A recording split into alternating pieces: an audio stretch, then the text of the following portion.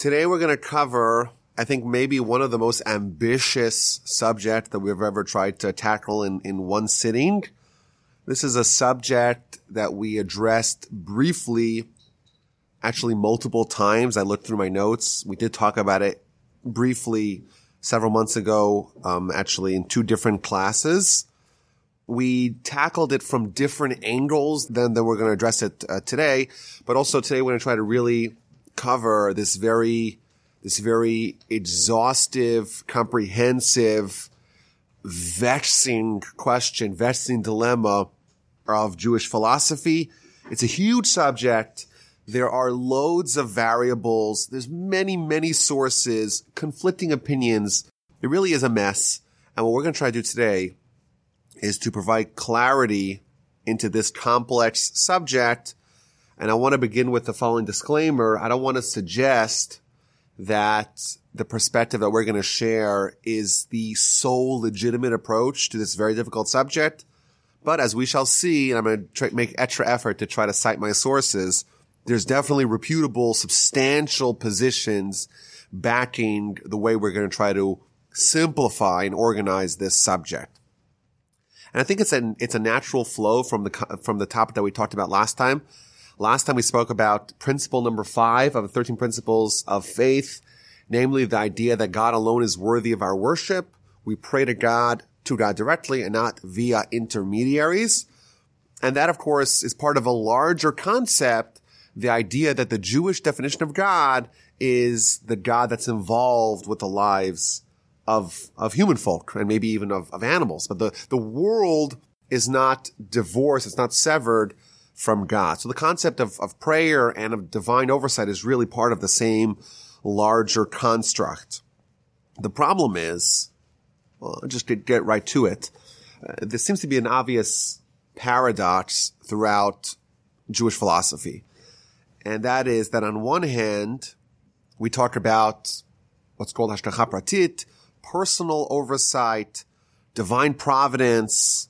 On one hand, God is overseeing our lives, is intervening when necessary, is manipulating events, is involved in the minutiae, is micromanaging what happens to us. Yet on the other hand, of course, the central pillar of, of Torah is the fact that we have a say, is the fact that we can choose to veer one way or the other. We have free will. Our actions matter. And even the idea of, of the laws of nature, the, the fixed, rigid rules that the Almighty baked into his world, those also have a say in determining what happens to us. So there's got to be a point where those two meet. You know, who is in charge of man? What happens to man? When I say man, I mean mankind. Is it God? And we're saying, we, we say that it's solely God. God is involved in every aspect of our lives. Yet we say that we have a say our free will choices matter. The free will choices of other people also matter. They also influence what happens to, to us and the laws of nature too have a say and they play a role in, in determining what happens to humanity. And that's the paradox because on one hand, the Talmud, for example, tells us, and by the way, we're going to be quoting many sources, but these, this is a small selection, but we try to get a nice cross section of the sources but there are many more. But the Talmud in the book of Chulin, page seven, tells us that a person doesn't injure their small finger from below unless it was thus decreed from above. Which again, it's part of the general idea. The Almighty is overseeing, the Almighty is giving the divine providence. What happens to man is determined by God, even in the most minute of levels. Yet, of course, there is the laws of nature, the free will, the free will of others. That too plays a role and those, there has to be a point where those two meet because is God determining what happens to us? Am I doing it myself? Am I at the whims of other people? Are we subject to the laws of nature? Nature ha- plays its course. It has its role to play. I'm going to try to untangle all this in one sitting. So, like we said, it's ambitious. So I want to give a few background sources uh, before we get into the meat and potatoes, before we get into the uh, the heart of the matter. I think a beautiful source to to kick things off is the Talmud, of the book of Sanhedrin. Talmud tells us the following shocking statement, book of Sanhedrin, page 37b. From the day the temple was destroyed, even though the Sanhedrin dissolved, even though the Jewish system of courts dissolved, and of course the Jewish system of courts would oversee capital punishment, and there's four kinds of capital punishment for different classes of sinners. And even though the Sanhedrin is no longer with us, the four capital punishments are still present. Thomas like, wait a minute, what did you just say? How could you say that the four methods of capital punishment are still present? They're not. There hasn't been anyone executed in a Jewish court of law in thousands of years. Says the Talmud, no. It doesn't mean that the actual four kinds of, of methods of execution are, are still present. It means that the ideas of them are still present. Someone who is supposed to get stoned, they fall off a roof. Someone who's supposed to get burned, well, they, they, they die in a fire. Or maybe a, a snake comes and bites them and the venom consumes them from within. Someone who's supposed to get beheaded, they get caught up with the Romans, the Romans behead them, or maybe a bunch of thieves do that. Finally, the fourth method of execution is asphyxiation. Someone who is supposed to die in that way is going to drown or have some other illness that is equivalent of asphyxiation. What the Talmud is telling us is that yes, there was a, a modality in which people who committed heinous and unconscionable sins were punished in specific ways. And you know what? Though that went away, but God is still going to make sure that everyone gets their due. And therefore, if someone dies, who, who caused them to die in that particular way? Was God because they deserved it because of their behavior. It's again an idea of, of someone dying in a very specific way, specifically because of their behavior, and it fits into the, to the model of the four methods of execution. That's what the Talmud says. Another example, Talmud of Makkos tells us, you have two people, both of them are murderers. One of them killed willfully, but there weren't witnesses or the witnesses weren't sufficient. One of them killed accidentally and likewise there were no witnesses. Someone who kills willfully, well, that's a capital crime. Someone who kills accidentally, well, they're supposed to go into exile. There's a punishment accorded to someone who killed, kills accidentally as well. How does the Almighty provide justice to this situation? Well, he makes that these two people happen to meet in the same resort. And one of them, the person who killed willfully, is suntanning by the beach. And the other person is there fixing the roof and he goes up the ladder and he killed accidentally and he's climbing the ladder. And then he misses a rung and he falls down and he crushes to death the person who's supposed to die and he kills him accidentally, and now there's a whole band of onlookers. So everyone gets their due. The person who killed willfully needs to die, dies. The person who kills accidentally needs to go to exile. Well, now this time, in this round, there are witnesses and they go to exile. That's what the Talmud says. Now, what this means specifically, it's always important to separate the specifics of the general principle that's being conveyed here. The general principle that is being conveyed here is that everyone is going to get their due. The Almighty is going to arrange the chess pieces so that everyone is going to get what, what, what is appropriate for them. So you may think this is a terrible accident. No, it's not a terrible accident. Actually, the person who's supposed to die died and this was all done perfectly. This is not an accident. This is actually the direct handiwork of God. That's a theme, of course, that we see elsewhere in Jewish philosophy, in Jewish, in Jewish life. You know, we just went through the high holidays and we have on Yom Kippur Rosh Hashanah the idea that we declare that on Rosh Hashanah, it's going to be determined who's going to live and who's going to die. And in Yom Kippur, that verdict is sealed and subsequently it's delivered. And over the course of the year, whatever was predestined on Rosh Hashanah Yom Kippur plays out over the course of the year. When someone dies, there's a tradition to quote the verse in scripture, the Almighty gives Hashem Nasan, Hashem Lakach, the Almighty takes away. We're declaring that again, the Almighty is overseeing people's lives and of course people's passing. The Talmud book of Psachim, page 54b tells us that there are seven things that are hidden from the eyes of man, and one of them is the day of someone's death. Only God knows when someone's going to die, and only God oversees that. He alone, the Almighty kills, and the Almighty makes people live. The, these are things that are solely in the hands of God. And of course, there's many sources. We're just giving a sampling. Uh, the Talmud, the book of Nida, page 31a, tells us every person, there's three partners. Father, the Mother, and the Almighty. The father, mother, they provide, of course, some of the biology. And the Talmud lists the things that the father provides, what's on the Y chromosome, what's on the X chromosome. And of course, God animates the person. The fact that they could think, that they could, they could talk, they could walk. That's all the handiwork of God. That's all the gift of God. And then what happens when it's time for someone to pass? Then the Almighty takes what he contributed and leaves what the parents contribute. So the, the, the body's still there. The biology is still there. It's just not alive. It's just a paperweight. The parents' contribution is still present, but God's contribution is taken away. Again, we see this theme, this general theme of the Almighty is involved in a very intimate way, a very direct way with what happens to people. Now, I'm just throwing this out there. I don't want to follow down this rabbit hole, but what happens when someone commits a homicide? What would we say? This is, uh, it's a, it's a troubling question. Person A commits a crime, the worst crime possible, murders person B. Person B is dead. Did God want person B dead? Or did person A override the will of God? Again, that, that, that's to the heart of our question. Who is in charge?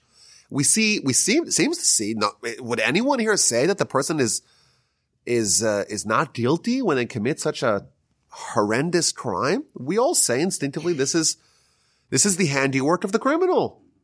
Yet, on the other side, conversely, we're, we're saying that it's God who decides who lives and who dies. I'm not going to give an answer to this question. Maybe it'll, it'll, it'll emerge throughout our discussion, but it's very hard for us to say that God is in charge of determining who lives and who dies, yet the murderer is to blame. Maybe, maybe they should be given plaudits. They're after all executing quite literally the will of God. So, so which one is it? So I'm just throwing that out there that there is a, there's a whole class of questions that we could ask when we see something that ostensibly is the handiwork of God. In our eyes, it's the handiwork of man. Which one is it? Is it both? Is it, is it God wanted them dead and this is the tool that he's using? Or no, the God wanted them alive and the person is the criminal is the one who's taking matters into their own hands and, and commit, committing an atrocity and God allows such atrocities to happen, which is, which creates its own, of course, theological dilemmas. So that's just to open up the, the conversation. I think there's uh, other areas where this question surfaces. So for example, in a less dramatic case, you have someone who is ill. What do you do when you're ill? You go to the doctor. Everyone does it. That's a normal thing to do. Can't we say that God made you ill and that going to the doctor is not going to help you at all? Should you go to the doctor? Is going to the doctor a lack of faith? Interesting question. What about making a living? Should you go to college? Should you say, well, I'm at the will, the Almighty decides who becomes rich and who doesn't become rich? Don't, don't we, don't we believe that? So which one is it? Should we go through the Herculean efforts to try to become rich. And we say, well, if God wants me to be rich, he'll make me rich in whatever ways he can. So again, the, these are some of the questions that we can ask. But as we'll see, the sources, the Talmud actually discusses these questions in various ways. So let's look at the first source. The first source is from the book in the Talmud called Brachos, the very first book in the Talmud, in page 60a on the bottom. It talks about going to the doctor in antiquity, it was quite common for people to engage in a practice called bloodletting. You have too much blood, too much iron, it's dangerous. You gotta let, let go of some of your blood. So they'll go to the doctor, the doctor would take their blood and, and that would make them healthier. So that's an example of someone going to visit a medical practitioner. Says the Talmud, the first opinion of the Talmud, Rav Acha, someone who goes to the doctor to let, let go of some of their blood, to go, go to a bloodletting session, they should say the following. May it be the will before you, Hashem our God, that this medical practice should actually result in me getting healthier. May you heal me, because after all, you are the reliable doctor, and your healing is a true healing. Talmud tells us there's a certain prayer you say. You're going to the doctor, of course. You're engaging like a human who is trying to pursue their medical interests. Yet, don't forget about God. He truly ultimately is the doctor. He's the one who's going to provide the healing. And the Talmud gives an addendum. Why? Because it's not the proper way of man to go to visit the doctor. It's only because they thus practiced, only because they practice thusly, must they go to the doctor. So a very cryptic, a cryptic uh, addendum here to, to this idea. When you go to the doctor, you pray, you ask God that this should work, because really it's not so appropriate to go to the doctor. Really, the only reason why they go to the doctor is because they thus behaved. What's going on over here? So that's the, the first portion in the Talmud. The second portion of the Talmud is that no. Comes along Abaye, one of the other sages of the Talmud, says, no, don't, don't say this prayer when you go to the doctor. It's inappropriate. Your position is wrong. Why? Because the verse tells us in Exodus chapter 21, verse 19, Verapo yirape, says the Talmud, what that means is that the doctor shall surely heal. This is teaching us that God allows the medical practitioners to engage in medicine. The physician is allowed. God wants the physician to have their say to, to, to be, to be the doctor. So on one hand, the first opinion tells us that we shouldn't go to the doctor. It's really not appropriate because after all, God's the doctor. Second is like, no, even God wants us to go to the doctor. So what's going on over here? So I think a good source to really open up this discussion, and I think it'll give us the kernel of what I think is the, is the ultimate resolution to this paradox. It's a comment, a very famous comment by the Ramban, Nachmanides, in his commentary on Torah, in, in Parshas Bechukosai, he says as follows. The rule, the general principle, whenever we hear those words, our earballs should perk up. When Israel, when they're complete, when they're perfect, and when they're numerous, when the Jewish people are in their proper state, all their matters will not be governed at all by the rules of nature.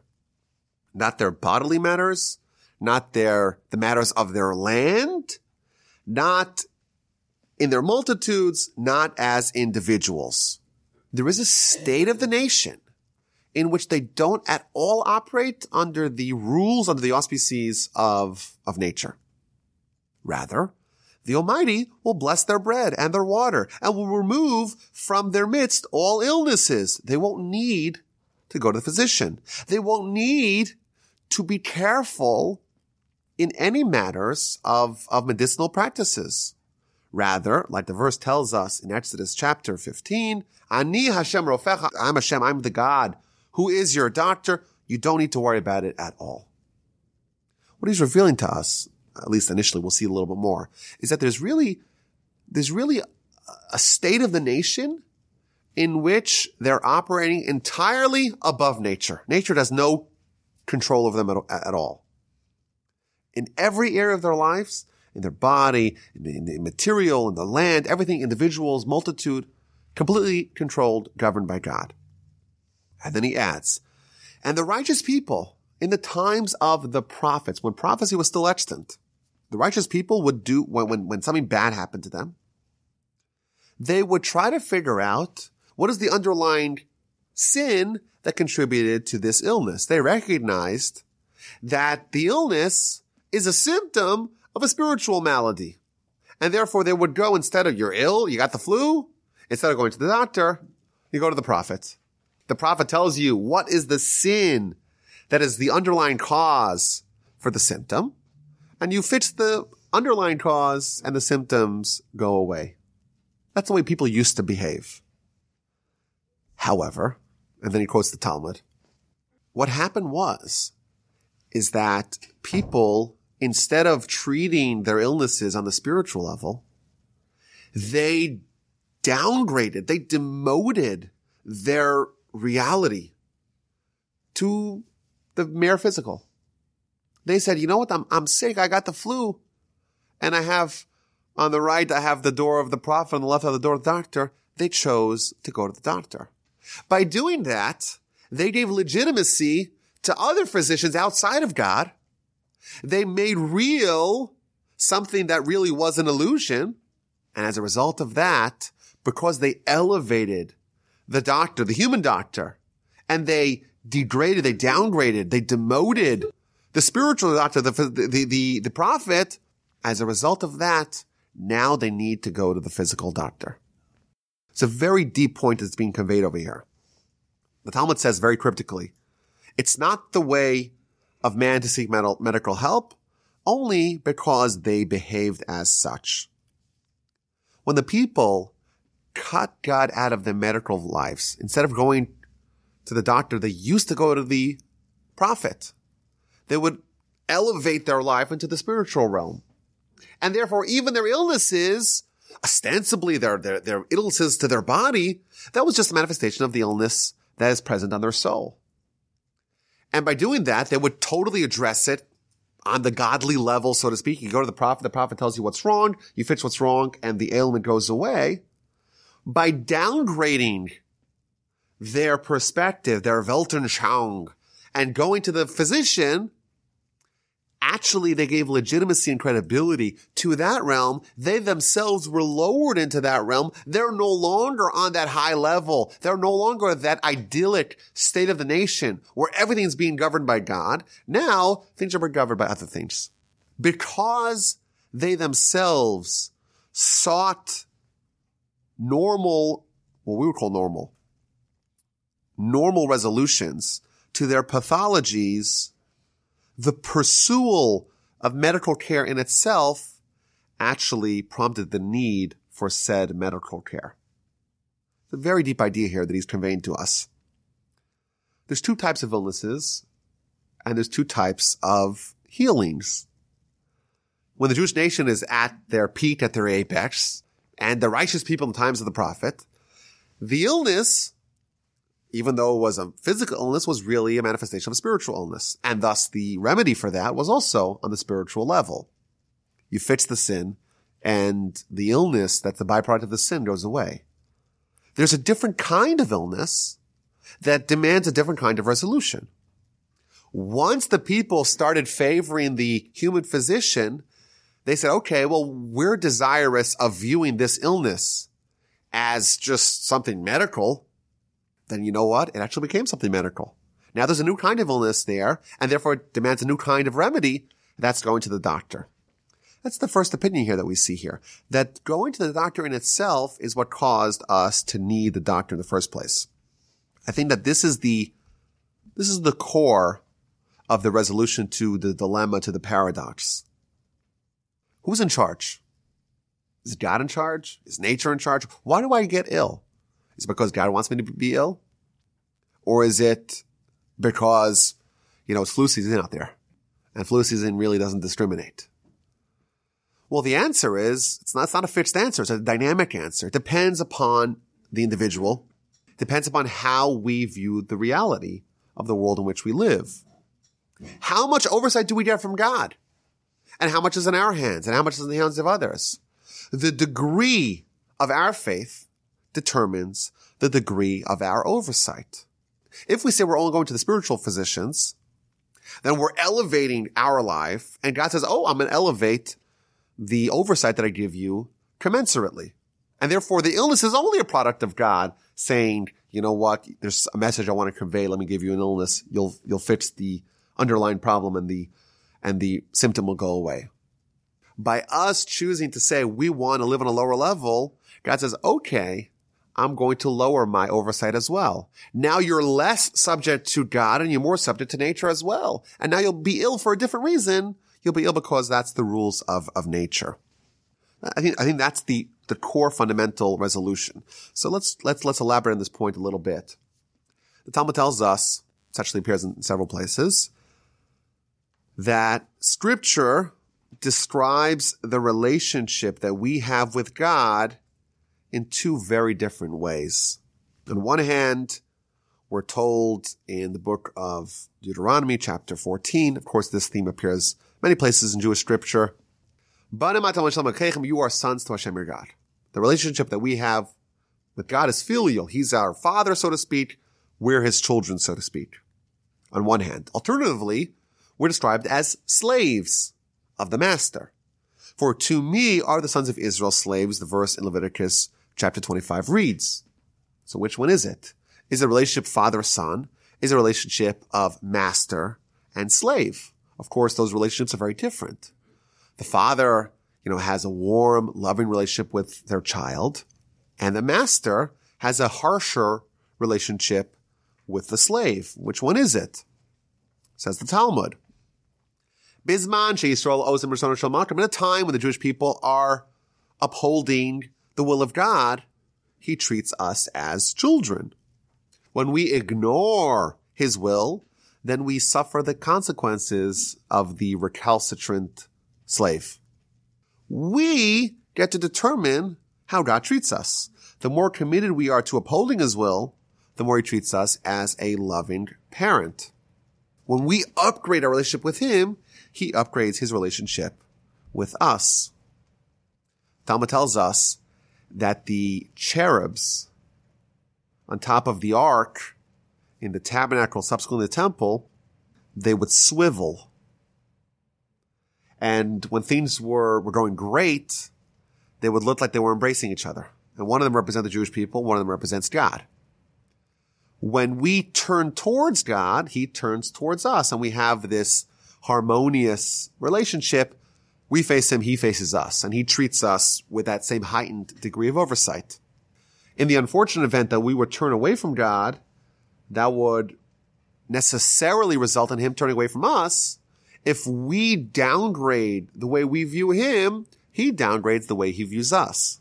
If we lower the amount, the, the, the reality, the, the palpability of his role that he plays in his life. He says, okay, that's what you want. I'll turn away from you as well. And as a result of that, when God turns away, well, who, who determines what happens to us? When there's less godly divine oversight, then we are more subject to all the other forces that can determine what happens to us in our lives, namely the rules of nature, namely the whims of other people if we don't want to be subject to the proclivities of other people, we'd best be advised to make sure that we swivel our proverbial cherub towards God, and to the degree that he sw- that we swivel to him, he's going to turn towards us.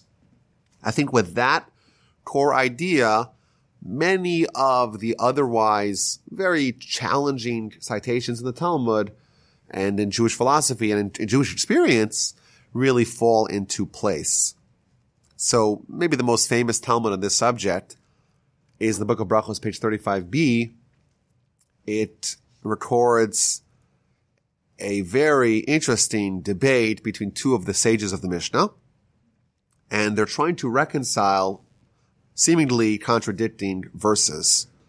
One verse tells us, Ve'asafta diganecha, you should gather your grain, which is a very famous verse because it appears in the second paragraph of the Shema when it tells us that we gather our grain, what does that reveal as to our livelihood? It reveals that we're farmers.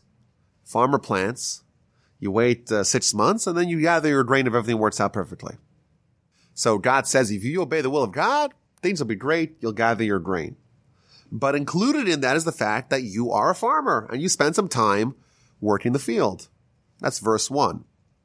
Verse two tells us the book of Torah shall never depart from your mouth. You should never, ever stop studying Torah. If you're a farmer, by definition, you're working the land. And thus, the time that you're working the land, what are you not doing? You're not studying Torah. So which one is it? One verse says you're a farmer. The next verse says you're not a farmer because you're studying Torah the whole time. That's the dilemma. That's the contradiction that the Talmud in the book of Brachos, page 35b, tries to reconcile. And it gives us two opposing reconciliations. The first opinion is Rabbi Yishmael. The second opinion is Rabbi Shimon. Two of the great sages of, of the, of the Mishnah, of the Mishnaic era.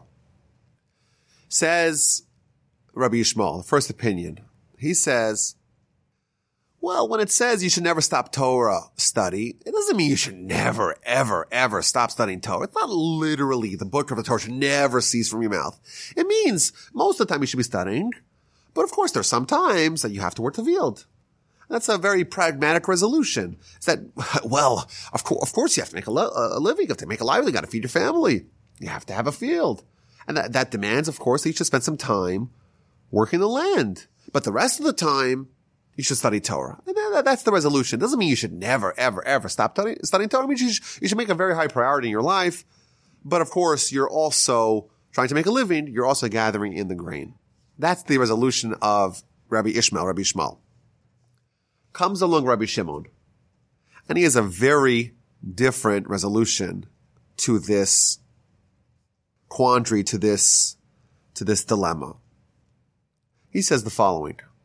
What's going to be? A person's going to plow during plowing season, plant during planting season, harvest by harvesting season, grind the wheat during grinding season, winnowing when it's, when it's windy. Your whole life is going to be dominated by your field. Torah matehele. What's going to be with the Torah? You're never going to study. You're always going to be busy with your field. Rather, his solution is when the Jewish people are doing the will of God, your work will be done by others. When the verse tells us never stop studying Torah, what it's telling us is that there is a certain kind of time you're doing the will of God and you study Torah and don't worry about anything else. Don't be a farmer. God will take care of you. God will provide. However, when you choose to cease studying Torah, when you stop obeying the will of God, well, then you know what? You're going to have to be a farmer. You're going to have to work really hard to make your living. Not only that, you're going to have the work of others foisted upon you. The way he reconciles these two verses is that these two verses refer to different kinds of people. The verse in the Shema says you gather your grain, you're a farmer. That's talking about someone who is neglecting their mandate, their responsibility to study Torah. And therefore, because you're not doing the will of God, you have to be a farmer. Whereas when the verse tells us that you should never stop studying, what it's telling you is that in that variety of people, you know what? You study Torah and God will provide. The Talmud ultimately concludes, Abaye says, Abaye is one of the sages of the Talmud, many behaved as Rabbi Yishmael taught and succeeded. A lot of people tried both approaches. Many people tried the approach of Rabbi Yishmael to try to harmonize, to try to synthesize being a farmer and also studying Torah. And most of them were successful. And many people tried the other approach. The approach of Rabbi Shimon to say, I'm just going to study Torah and the Almighty will provide for me. And you know what? Most of those were not successful. That's the conclusion of the Talmud. It would seem that the two sides of our paradox, on one hand, we're told you got to do something, you got to take initiative. On the other hand, we're told that you have to just you know, God, of course, is controlling every aspect of your life. It, it would seem like that's the dispute of Rabbi Ishmael, Rabbi Shmuel, and, and Rabbi Shimon. Rabbi Shmuel is saying, well, you gotta take initiative. You gotta be a farmer. You gotta plant. And comes along Rabbi Shimon says, no, you don't have to plant. God will provide. You're after all subject to the will of God. And with his oversight, he'll make sure that you're okay. Commentaries point out that there's something deeper going on you know, if you examine this Talmud, you'll notice that it is very unusual. Whenever there's a debate amongst the sages of the Talmud, every side is going to provide their reasoning and we resolve it based upon the merits of their argument. You bring a source, you bring a Mishnah, you bring a Brisa, you bring, you bring a logical argument, you quote a verse. There's a legitimate debate between legitimate, reputable rabbis on either side, great Torah giants. And if you want to resolve it, you want to say, well, this opinion is correct, this opinion is not correct, you have to do it based upon the merits of the argument. And here we see that this dispute is going to be resolved with data, with surveying people and saying, well, a lot of people tried this way. A lot of people tried that way. And this way seemed to be more successful than that way. It seems like it's a very unusual way to resolve the argument. How are we mediating? How are we arbitrating this dispute based upon doing a field survey of people who tried this approach and the people that a lot of people tried this and it worked, a lot of people tried that and it worked. It must be the first way is better. What's going on over here? It seems like what's actually happening, and the commentaries elaborate upon this, is that the same idea that we conveyed a little bit earlier from the Ramban is present over here. There is the idealized way. There is the Jewish people when they're in their, their perfect state, when they're numerous, when they're righteous. There is the righteous people in times of the prophet.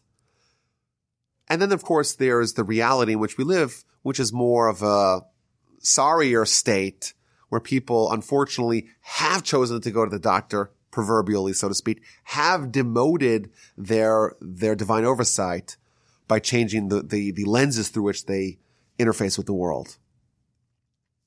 Both of these opinions are both correct. They're not arguing based upon the merits. What they're arguing is actually based upon a pragmatic question.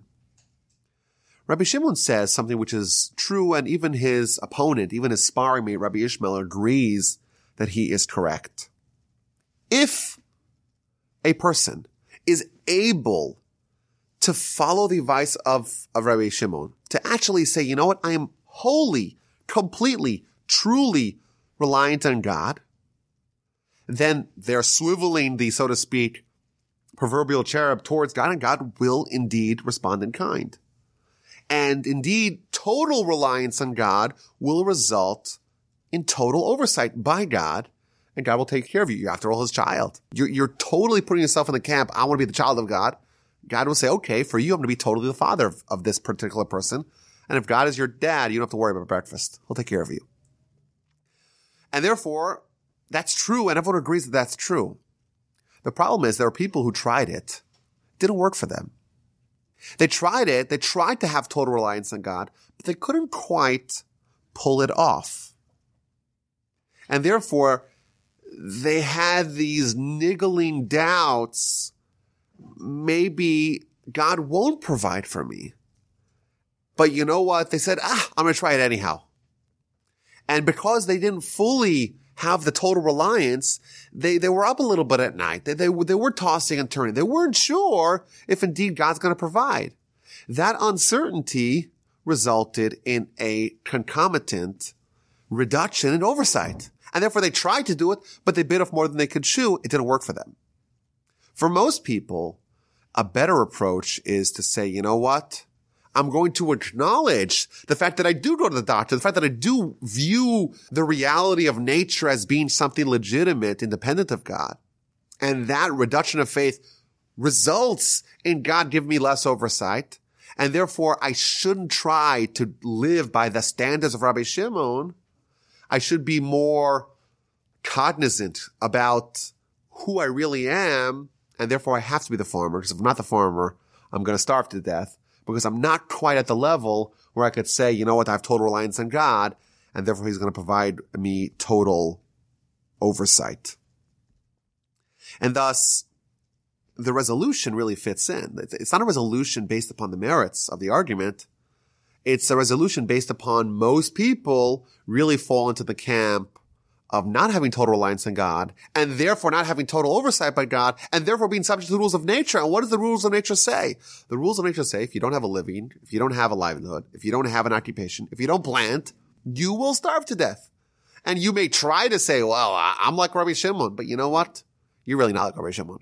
And if you try it, you're probably going to fail. And therefore the resolution actually is a caution of us not to overshoot our Amuna reality. Don't think that we have more oversight than we actually have because our oversight, our divine providence is going to be limited to how much we turn towards God, to how, to, to how much we actually view God as being a benevolent and loving father. And if we try to bite off more than we can chew, if we overshoot that level, then we're going to be left without really much on either side.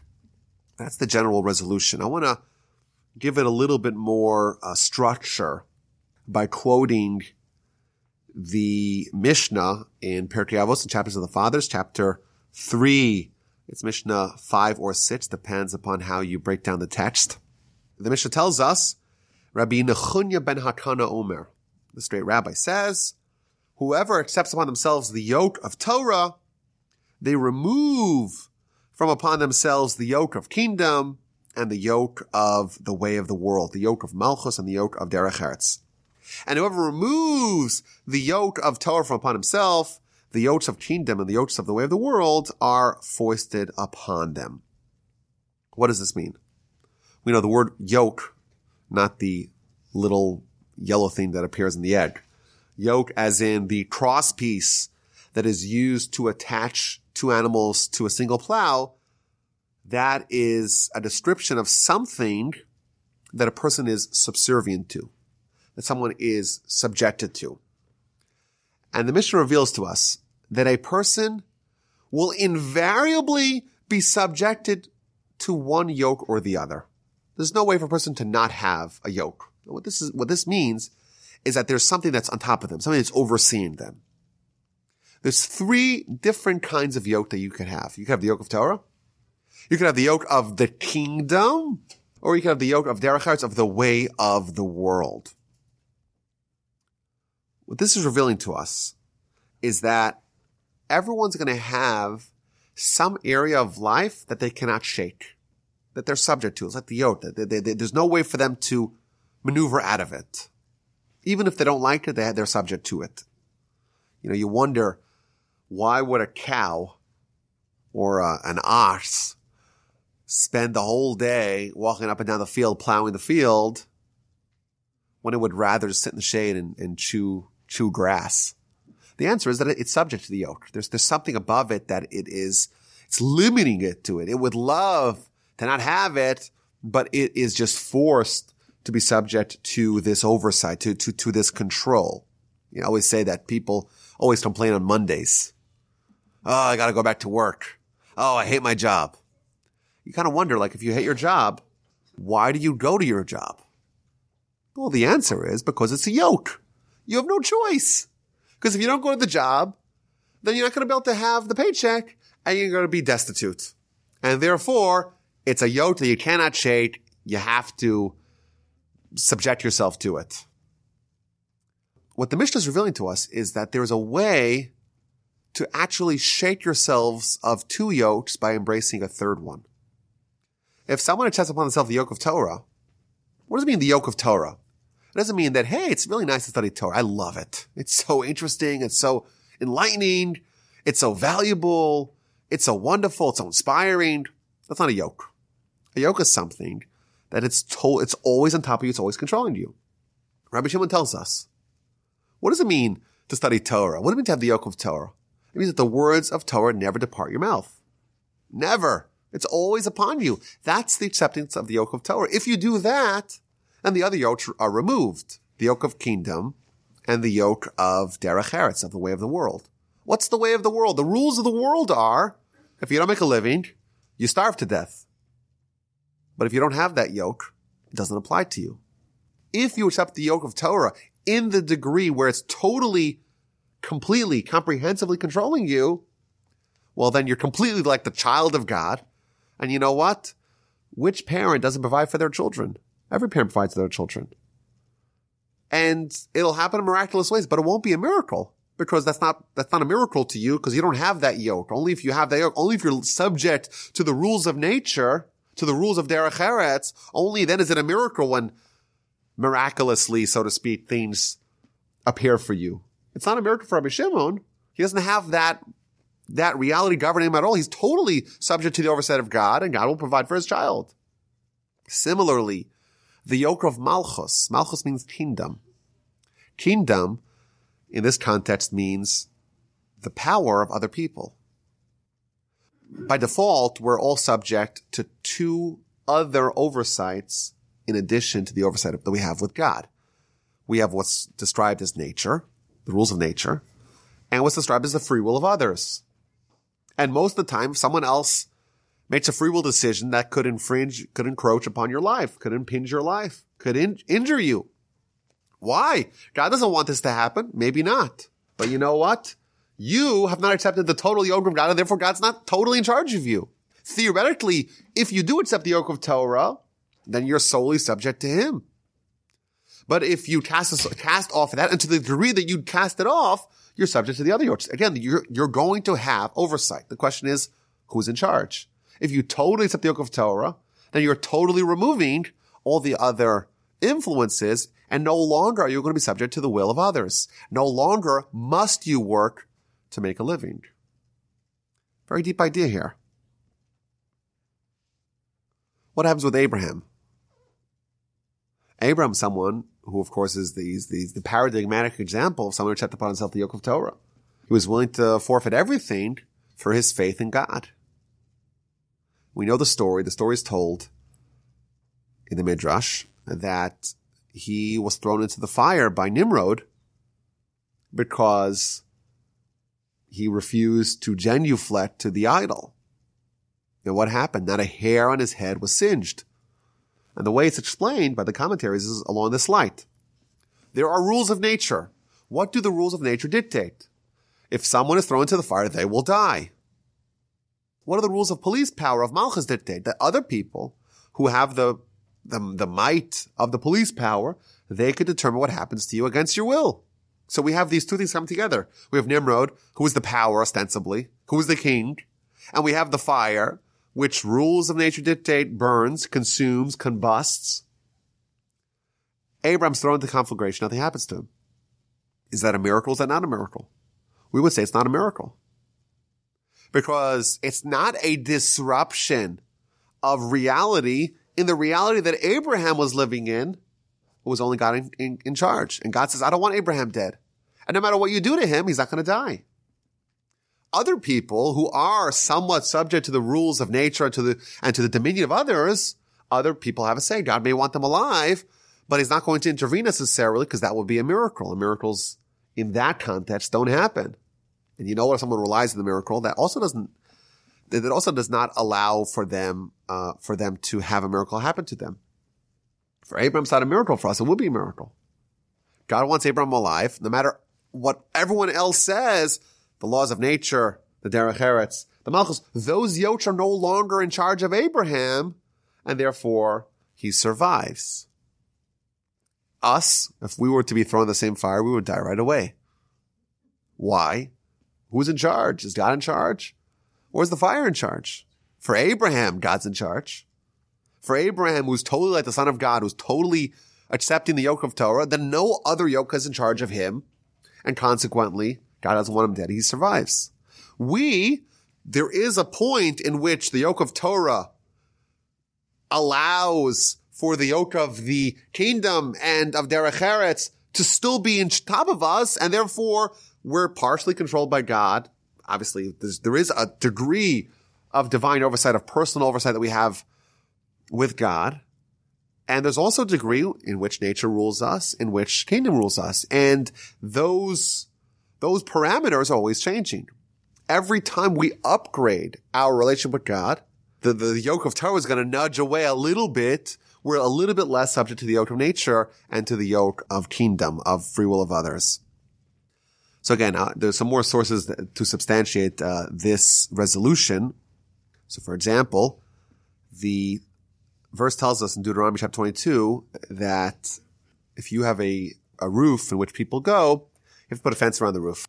Why velo sasim damid Don't place blood in your house. Don't allow an accident, someone falling off the roof and, and hurting themselves. Now the obvious question is, if someone dies, who wanted them dead? God wanted them dead. Well, if someone comes onto my roof and they're having a good time until they collapse and they fall and they die, well, it's not my fault. God obviously wanted them dead. Again, the same dilemma. So the Sefer Chinuch is one of the earlier commentators who uh, delineates all the mitzvahs of the Torah, he really gets into this question. He says, wait a minute, what's happening over here? Why, pray tell, must I put a fence around my roof? If the person who dies there dies because God wants them dead, then my roof won't help and my roof is superfluous. Yet the verse says, if I don't put a roof on and someone does die, it's my responsibility. Why would it be my responsibility? So he, again, that's, that's the same dilemma, the same paradox that we have over here. So he addresses it the way, again, the, the way we outlined. He says, yes, of course, everyone is subject to the will of God and nothing happens outside the will of God. But you know what the will of God also includes? The will of God also includes the fact that the rules of nature mandate that accidents will result in fatalities. And he gives some gory examples, like if a boulder falls, falls on someone's head, it's going to crush them to death. And if someone, God forbid, goes into a fire, they're going to die. And if someone falls off the roof of a tall building, they're also going to die. And God endowed us with the intellect to avoid these kinds of dangers. And he commanded us to protect ourselves from accidents. Otherwise, if we don't, then you know what? Nature, to whom man is subjected, will do as per the rules if he does not protect from it. Again, the same idea. People are subject to the rules of nature. That's the, that's also included in the will of God. And I, God doesn't want me dead, but you know what? I didn't put the fence around the roof. I didn't ha- maintain the adequate safeguards, and now I'm dead, and it shouldn't have happened. This was a preventable accident. And then he adds, however, there are a select few, due to their piety, due to cleaving to God's ways, that the king desires them. These are the righteous men of yesteryear, men of renown, like our great and holy forefathers, and many of their descendants who came afterwards, like Daniel, Hanan, Mishael, Azariah. Those people, they were not subject to nature. In fact, to the contrary, nature was subject to them. In the beginning of their lives, they also had this mix of who was in charge. The laws of nature were in charge of them. But as a result of their greatness and their ascension of their soul, it was reversed. They became masters over nature. He brings the example of Abraham. Abraham was thrown into the fire, yet not a hair on his head was singed. But then he ends off with a warning, like Rabbi Ishmael and like Abaye, we shouldn't be too confident in saying we're like the men of renown of yesteryear. We're totally subject to God because in that case, we're relying on a miracle and a miracle won't happen. And we're quite likely not on that level of the righteous in the times of the, of the prophets, of someone who's solely controlled by God, of someone who really views himself as a child of God, of someone who's totally facing their cherub towards God. And therefore we have this mitzvah to put the fence around our roof and everything that's included within that. I want to add one more source here to wrap up the uh, the sources of this idea. A very controversial source, uh, one, one, of the great commentaries on the Torah, the Or HaChaim, is commentary to the episode of Joseph and his brothers, and the decision that the brothers made, instead of killing him, let's instead throw him into a pit full of venomous snakes. And obviously, the decision of the brothers, this is chapter 37 of Genesis, it's a very perplexing decision. On one hand, they say, hey, let's kill him. And of course, we understand this decision based upon, you know, the stature of these people. These people not, not just wantonly killing people. They, they believe that Joseph was indeed worthy of capital punishment. Comes along Ruvain and says, well, let's not kill him. I have a better idea. Let's throw him into the pit full of snakes. So first of all, how is Reuben improving the situation? In addition, the brothers themselves, if they believe that Joseph is worthy of capital punishment, why should they give in? Why should they yield? That's the question that Or HaChaim comes to address. So what he says is that the brothers were pretty sure that Joseph was worthy of capital punishment. But you know what? Says Ruvain, maybe you're wrong. Maybe, maybe, maybe we got it wrong. Maybe he's not. Maybe he's really innocent. And what's going to be, you'll say, hey, let's kill him and we'll have a trial by combat here, trial by fire. Let's find out if, if he dies, well, he must have been guilty. But no, maybe he's going to die and he's really innocent and we killed him because we have free will and he's subject to our free will. And therefore, I have a better solution. Let's throw him into the pit. And then if the snakes kill him, snakes don't have free will, and the snakes will only kill him if he's guilty. Because that's after all God deciding that they, that, that he should die. And the brother said, Oh, you know what? Let's follow that instruction. But what this reveals to us, again, is the same idea that Joseph, if he was killed by his brothers, we would never know if he was innocent or guilty. Because you know what? Maybe he was subject to their free will and their free will mandated or decided, determined that they should kill him and God wants him alive, but they want him dead and they killed him.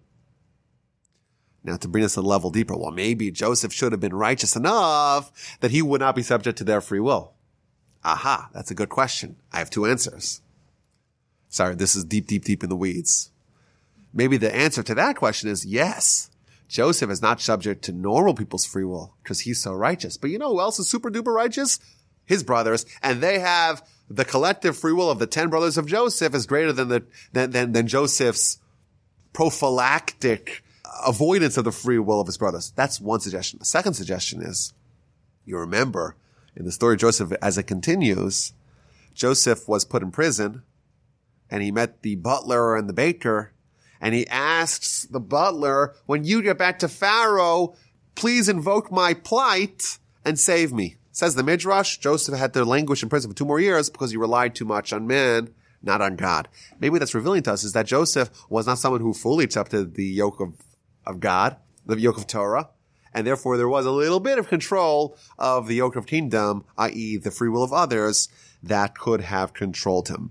But the bottom line that I want to convey here is that this enormous subject, I think, there is at least substantial sources, like we, we mentioned, the, the Maharal, the commentary in Pirkei Avos, uh, this Ohr HaChaim, this, uh, Sefer Chinuch, the, there's many sources that we're cobbling together, the Ramban, uh, the way he understands the, the Talmud, uh, that do present a, a cogent, a cogent resolution, resolution to this, to this, to this dilemma.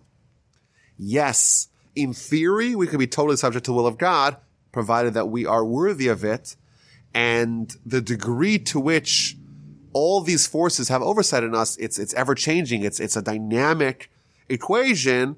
And the more we subject ourselves to God, the more we become worthy of having godly oversight. And the more indeed God is the sole determinant of what happens to us. I want to add, again, there's many sources here and I tried to shave off as many sources as I can to, uh, make it fit into the time allotted there is an interesting idea that we find that people who are vulnerable have extra oversight from God. People who are sick, young children, people who don't rely on their own might are people that have more oversight. So for example, the verse tells us in Exodus chapter 22 that we should not torment, we should not oppress the widow and the orphan because if we do oppress them, then they call out to God and God will hear it and will suffer as a result because these people have extra oversight. We would have thought, at least initially, that the widow, the orphan, alternatively the convert, these are people who are weak, who are feeble, who are outsiders. They have no one to help them, and therefore God, in His mercy, He picks up the slack of others, and He, and he says, "I'm gonna, I'm gonna be their, I'm gonna be their advocate." That's how we understand it simply. But the commentaries explain, Bein Bachai, amongst others, that because these people don't have others who are typical allies will come to their aid, therefore they're relying more on God, therefore they have more godly oversight, and therefore their cries will be heard more easily. It's not like these people are they, they, magically, because you're an orphan, because you're a widow, because you're someone who's a little bit of an outsider, that magically upgrades the amount of oversight. No, because things are bad for you or you don't have people that usually are, are, are likely to stick up for you. Consequently, you're someone who relies more on God and you're amplifying the amount of oversight that you have because by definition, the more reliance you have on God, the more he'll make himself, so to speak, worthy of that reliance, the more oversight he will give as a result. And therefore, that's why these people merit that oversight. And therefore, it's very dangerous to torment them because they have a more direct link to God as a result of more reliance on Him. That's the conclusion. That's the last source I want, I want to mention. But again, the, the bottom line that we want to share here is that the reason why it's such a vexing, confounding, troubling, confusing subject is because there's many variables here. It's not just the question of how much is God in charge? How much is nature in charge? Where do those two points meet? Every person, every individual, every community, every people has a different answer to that question. And that, that answer is always changing because it is us who get to determine how much is God a master of, of us? Is God a father to us? We get to make that choice. And the more we upgrade our Amuna, the more we upgrade the reality that God plays in our lives, the more God indeed will play more of a reality in our lives and will provide us more of a divine oversight. This was an absolute pleasure to study with y'all today. My email address is rabbiwolbe@gmail.com. I look forward to hearing any questions, any comments, any feedback, and for meeting again to study together in good health and in good spirits.